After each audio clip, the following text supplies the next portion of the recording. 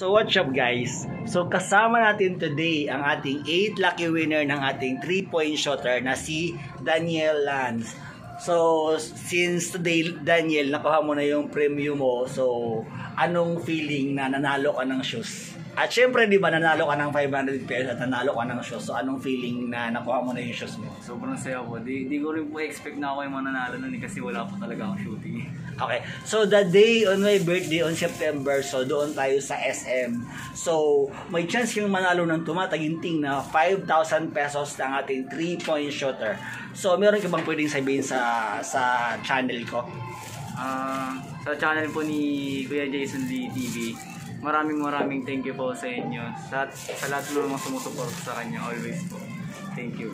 Sa mga hindi pa nakapag-subscribe ng aking YouTube channel, I am inviting everyone to please subscribe my YouTube channel and please don't forget to hit the bell button para updated kayo sa mga bagong videos na upload ko. Always remember mga lalabs na kung may pangarap ka sa buhay mo, gawin mo lang ito sa legal na paraan dahil minsan talaga ikaw lang makakatupad ng wish mo. Bye-bye! Bye!